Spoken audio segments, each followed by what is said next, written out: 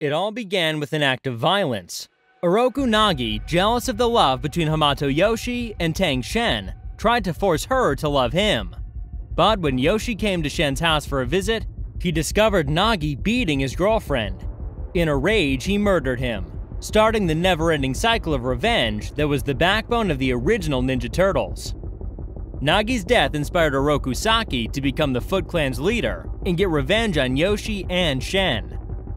The years passed and the Turtles made sure to eliminate the Shredder. That's a story explored in this other video. I already talked about Hamato Hana in this other video, but what happened to the rest of the Hamato family? The ghost story I will discuss today was published in Tales of the TMNT, Volume 2, Number 19, in January 2006. It was written by Ross May with Steve Murphy, with art by Chris Allen and Steve Rolston. In this adventure, Splinter and the Turtles made a pilgrimage to Japan, to a small village, looking for something important. Splinter was looking for the house where he used to live with Yoshi, in the woods outside the town. While searching for it without clear directions, Raphael and Michelangelo finally ran into the remains of that house, only a foundation claimed by nature.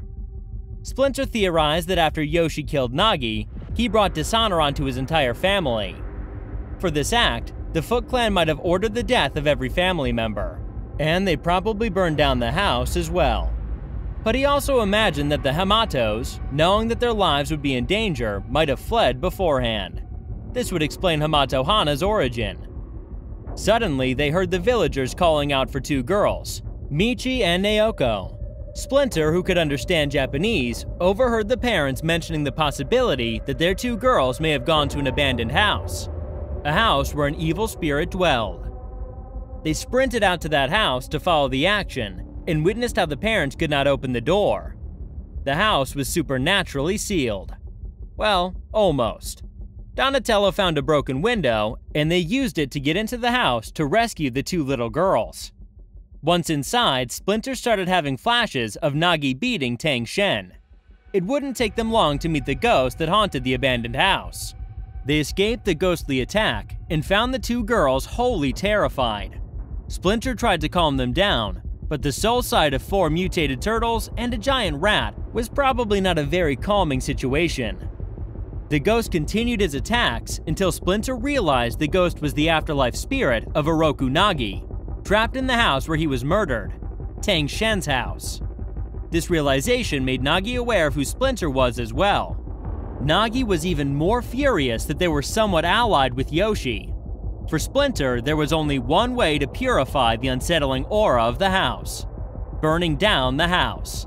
That way, they would finally release Oroku Nagi to continue his journey to the afterlife.